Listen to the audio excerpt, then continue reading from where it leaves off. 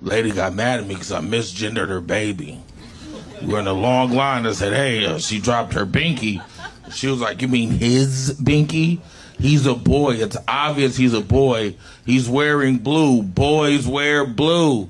And the best thing about this conversation is she had on the blue cardigan. so I was like, you know what? You're right, sir. I apologize. I didn't mean to ruin this father son moment. He didn't like that one bit.